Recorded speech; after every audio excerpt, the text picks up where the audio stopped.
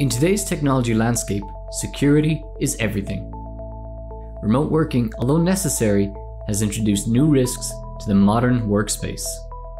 Many are tempted to believe that accessing a remote desktop from a BYOD device is secure enough for remote working.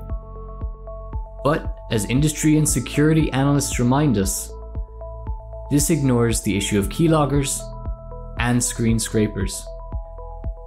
What we often see is a corporate remote desktop being accessed by sparsely secured machines, and as work is done within the remote desktop, this, oftentimes, is considered separate from the endpoint and secure. However, as we can see with this basic piece of keylogging malware, every interaction with the remote desktop is being tracked by an outside source.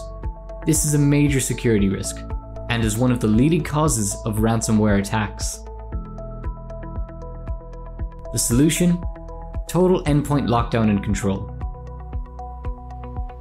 ThinScale provides secure, IT controlled workspaces where malicious software is incapable of running, even if it's already on the local machine. So, we've seen what happens when we try and access a remote desktop through a standard deployment. Let's see what happens when we try the same from a secure remote worker workspace.